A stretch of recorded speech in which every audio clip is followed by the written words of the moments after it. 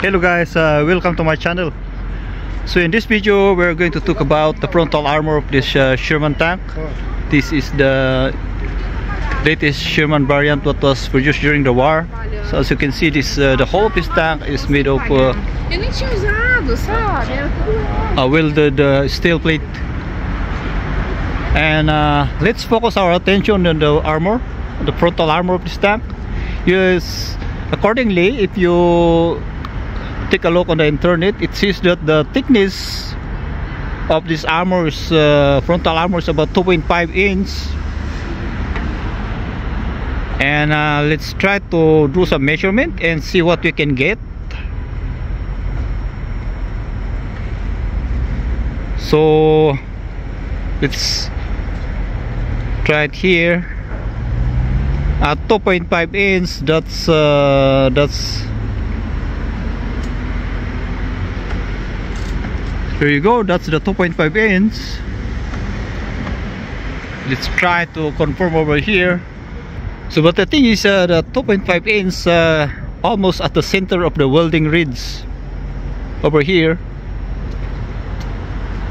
So uh, and the thickness of the welding reeds is about one point on the average. It's what 1.3 it's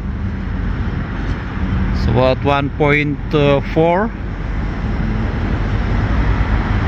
so it's 1.3 so it's varies so maybe let's try to take uh, the average welding rates as uh, 1.3 inch.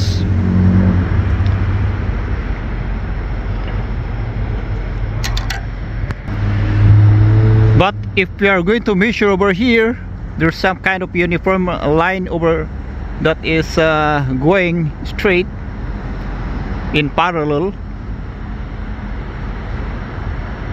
that's about two inch.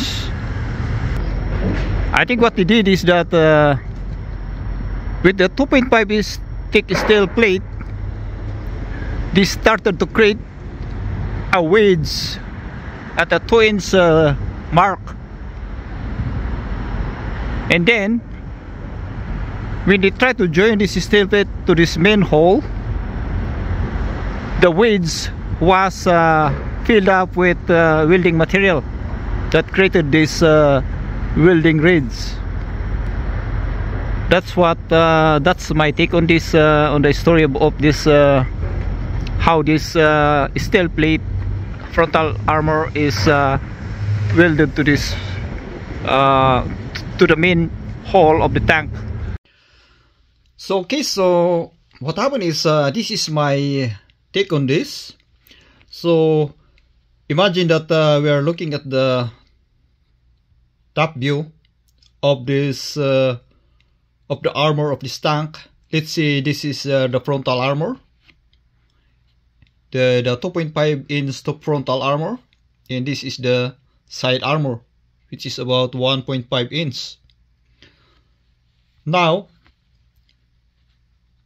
I'm thinking that uh, the way they connected this uh, two armor is that they place a gap enough for them to fill this the gap with uh, welding uh, material.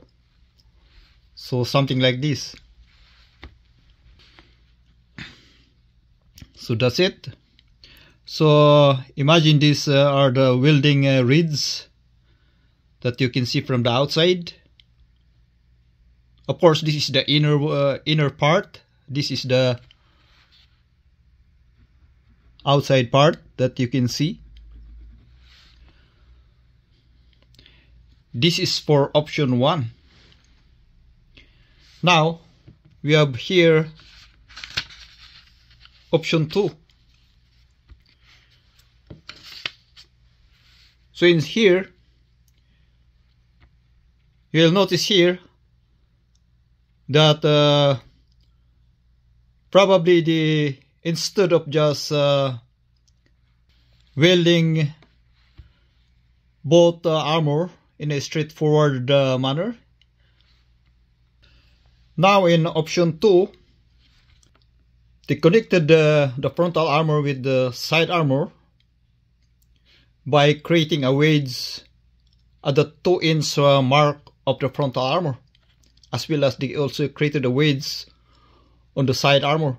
And then they filled in the gap with this uh, with welding uh, material. So looking at uh, both options I think this is uh, the most uh, probable uh, way the, they did to connect the frontal armor to the main hull of the Sherman tank. What I think guys, anyone who has uh, experienced welding uh, thick uh, armor of uh, more than 2 inch, please uh, leave a comment below and uh, let's talk about this. Thank you guys for watching and if you enjoy this kind of video, please don't uh, forget to subscribe and uh, like so that uh, you will be updated on my next video uploads